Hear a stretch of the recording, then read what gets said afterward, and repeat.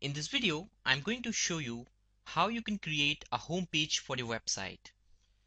All the themes by Inkthemes comes with a theme options panel. You can access the theme options panel using the appearance and under the theme options tab right here.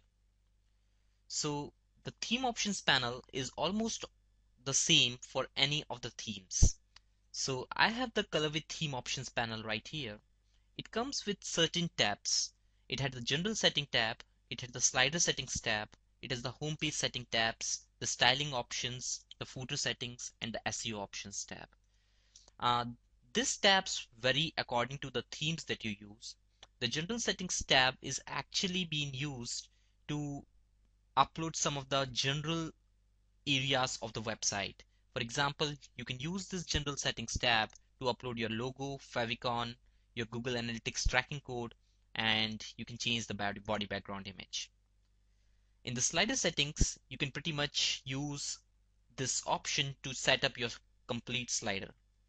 In the homepage setting, you can just use this homepage setting dialog, uh, tab to set up your homepage as per your requirements. In the styling options, you can generally choose any of the colors that the theme has been available into. You can also put your custom CSS option right here. Under the footer settings, you can just put all your social networking icons and URLs that you have right here. Under the SEO options, you can set the basic SEO options on the website.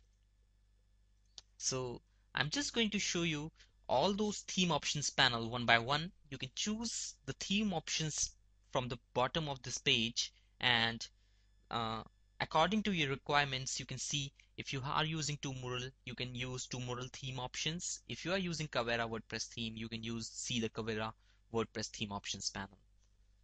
So thanks for watching